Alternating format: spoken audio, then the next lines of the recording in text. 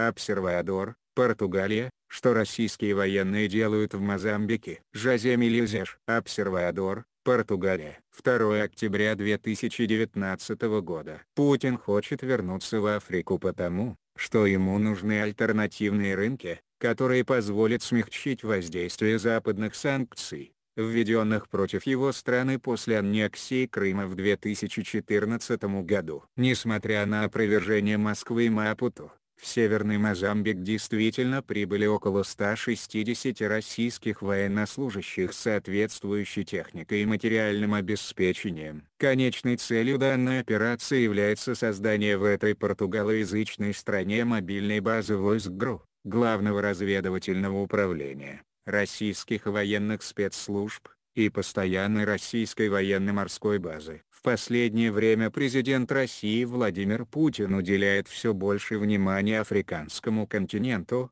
недаром в октябре в Сочи должен пройти саммит Россия-Африка. Причины возвращения в Африку самые разные. После бесславного прохождения по этому континенту Советского Союза, который ограничился тем, что поставлял движением, претендовавшим на звание антиимпериалистических, оружия и военных советников, Путин хочет вернуться в Африку по крайней мере для того, чтобы получить экономические дивиденды. Он ищет альтернативные рынки, которые позволили бы ему смягчить воздействие западных санкций, введенных против России после аннексии Крыма в 2014 году. Кроме того, Москва, не способная предложить высокие технологии, инвестирует в добычу сырья, газа, нефти, золота, алмазов, бокситов и так далее, где у нее имеется большой опыт. Таким образом российские лидеры пытаются решить сразу две проблемы – компенсировать растущие трудности,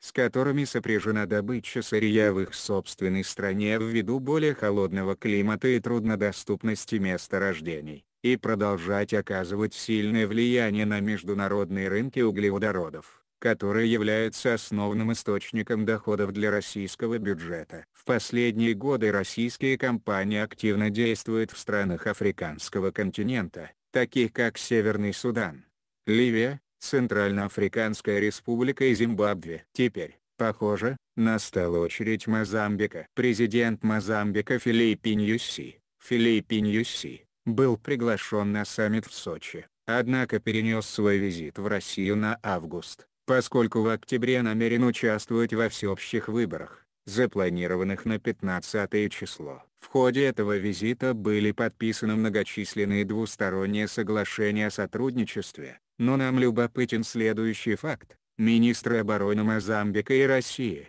Атаназиум Тамуки, Атанасем Тамуки, и Сергей Шойгу, договорились о взаимной защите секретной информации. Кроме того, правительство Мозамбика одобрило упрощенный режим входа военных кораблей ВМФ России в порты Мозамбика, который уже вводился в период тесного сотрудничества между Фрелимо и Коммунистической партией Советского Союза. Эти меры направлены на создание российской военной базы в Северном Мозамбике. Совпадение это или нет? Но в последнее время поступает сообщение об атаках, совершаемых неизвестными вооруженными группировками против населения в провинции Кабо-Дельгадо, и российские военные вполне могли принимать участие в этих боевых действиях, как это происходит в Сирии против исламских экстремистов. Кроме того, между российскими компаниями и Мозамбиком уже подписаны соглашения о разведке и разработке в регионе газовых месторождений которые требуют защиты. Обе страны являются суверенными образованиями и могут подписывать соглашения, которые в наибольшей степени отвечают их интересам. Однако Мозамбик сможет развиваться и процветать лишь в том случае,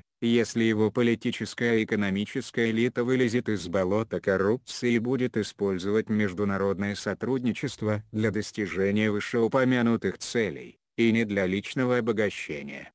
ПС. Банк внешней торговли, ВТБ, находящийся под контролем российского правительства, как раз один из банков, причастных к мозамбикскому делу о скрытых долгах, сделки, которая нанесла этой стране серьезный ущерб. Материалы на СМИ содержат оценки исключительно зарубежных СМИ и не отражают позицию редакции на СМИ.